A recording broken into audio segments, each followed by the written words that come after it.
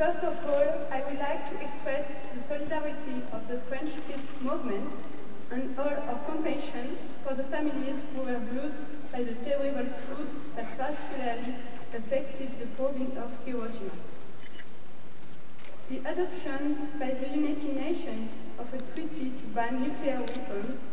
could not have been possible without the tireless testimony of the Hibakusha and the permanence of the mobilization